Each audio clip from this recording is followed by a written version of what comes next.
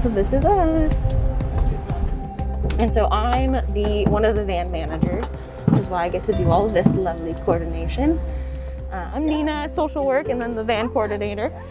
Howdy, howdy, how you doing? We're a student-led interprofessional group um, that provides basic first aid and wound care to the unsheltered people living right outside the University of Washington.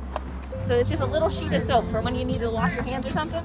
Just the basic hygiene supplies are, are most popular, I would say, for almost everybody who comes by takes something from the supplies. These people are so great. I want me a van like this. if you've gotten to check inside the van, it's pretty cool. It's got actually an exam table, small sink. Some great overhead storage here.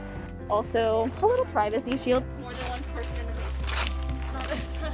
We can happily examine you if you'd like, if that would be helpful. Um, well, it is kind of personal. Absolutely. Yeah, yeah, yeah. The first thing we have to do is build trust with whoever we're talking to.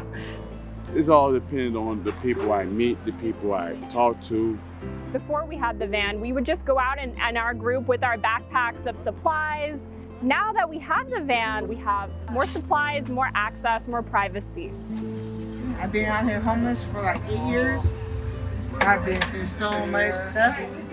I am interested in finding ways to bring healthcare in a more accessible fashion. And so I think as a medical student, it is really amazing to be a part of something that is making that happen.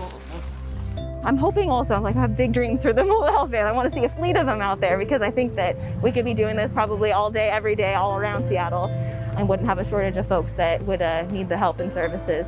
Thank you very much. I appreciate you.